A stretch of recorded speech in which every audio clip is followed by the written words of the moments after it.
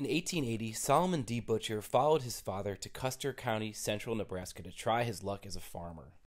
Like the majority of other farmers attracted to land on the Great Plains through the Homestead Act, Butcher couldn't hack it. Instead, he used his camera to try to document the lives of other settlers on the plains. Here are just a few of the pictures that he took between the 1880s and the 1920s in Nebraska and Colorado.